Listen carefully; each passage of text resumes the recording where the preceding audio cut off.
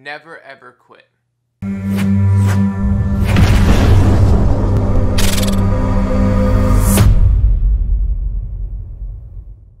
What's going on, guys? All right, so it is day 13. Um, it's been a crazy day.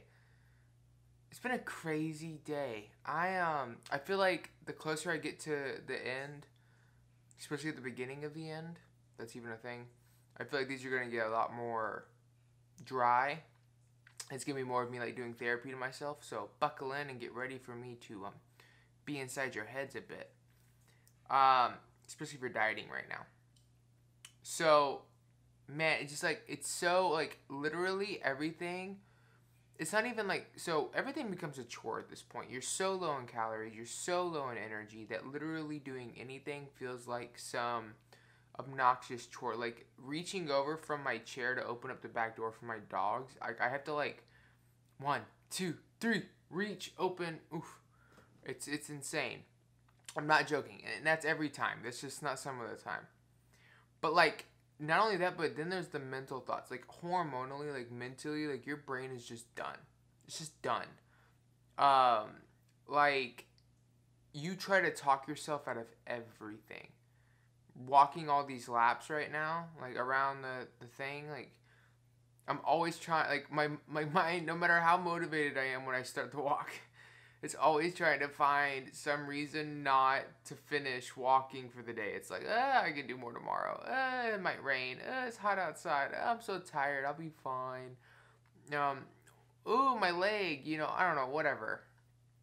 And it's just so interesting. It fascinates me um, when your body is at a. And don't get me wrong. Let me preference. This part of prep is not healthy. No human, unless they're trying to get on a stage, should have put themselves through this. You should reverse diet, reset your metabolism, and then diet at a healthier caloric amount. 100%. What I'm doing right now is not healthy. Um, but still, just that the mental games are so strong right now. You know, like the thumbnail says, you know, I almost changed my plans. Um, the reason for that is because I was talking to the photographer, and deep down, I was like, please, please have to do it earlier. um, because you know I'm just tired. So thoughts like that come into my head, and and, and um, I messaged him, and I'm like, hey, we're still good for the 25th. Always, always hoping, really, truly, deep down, hoping he doesn't cancel. But sometimes I'm like, oh, please move it up, you know. And he's like, no, we're good. So I was like, okay, cool. And I was like, hey, just so you know, if you do have to reschedule this Saturday, let me know by Wednesday. And he's like, I can do the 19th. Oh my gosh, dude. When he sent me that message, that was one of the hardest mental games I ever played in my life. Especially like this is the hardest thing I've I've this is the hardest conversation I've had with myself this whole prep. Because I mean like health health wise, like I have every reason to like totally just do it this Saturday and get it over with. But something deep, innate within me was like, no, John. Unless he cancels or has to, you're finishing this. So I messaged him and I'm like, no, no, no, I need to finish it.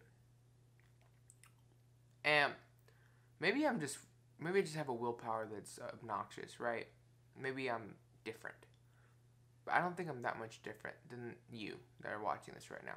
I think the difference is, is that I have through experiences in my life grown accustomed to knowing that the feeling of overcoming the challenge is so much better than surrendering to the challenge. And I want to encourage you with this video. Overcome your challenge.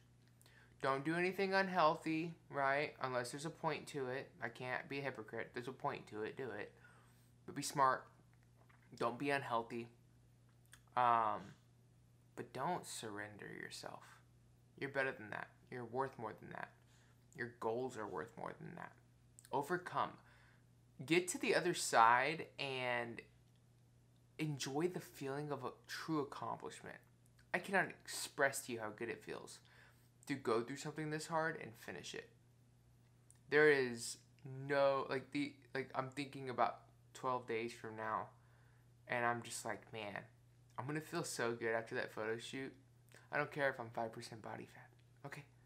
I finished. And I finished strong. I didn't cheat once. That feels good. Um, so finish, man. You got this. But everything's going as scheduled. The thumbnail was total clickbait. You know, it almost happened, but it didn't happen. So keep your head up. I'm gonna go for a walk. I'll see you tomorrow.